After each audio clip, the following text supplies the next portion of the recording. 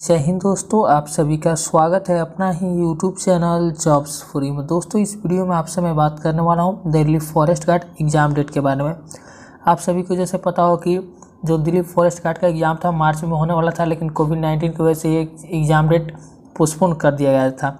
मैंने इस पर वीडियो बनाया था उस वीडियो के नीचे काफ़ी सारा कमेंट आ रहा है अब कि, सर, जब से ये पोस्टपोन हुआ, उसके बाद कोई नोटिस नहीं आया कि कब तक इसका एग्ज़ाम होगा।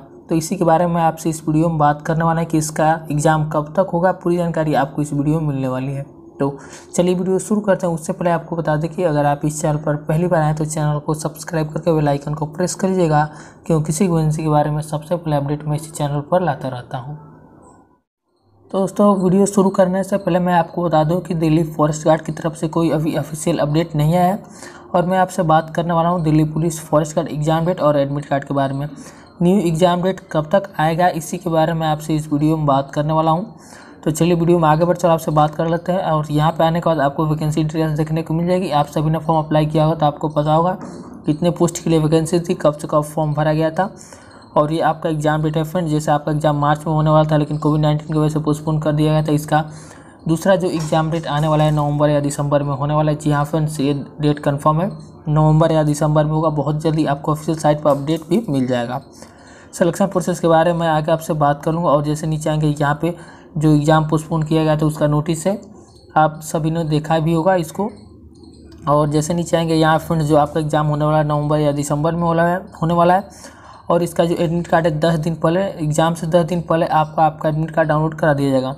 और आगे आने के बाद यहाँ पे फ़िज़िकल के बारे में बताया गया। आपका फ़िज़िकल क्या है? मैंने इस पर पहले से वीडियो बना रखा है। उस वीडियो को जाकर देखते हैं। या मैं इस पेज का लिंक आपको दे दूँगा डिस्क्रिप्शन में। यहाँ पर आकर आप इस फ़िज़िकल के बारे में देख सकते हैं।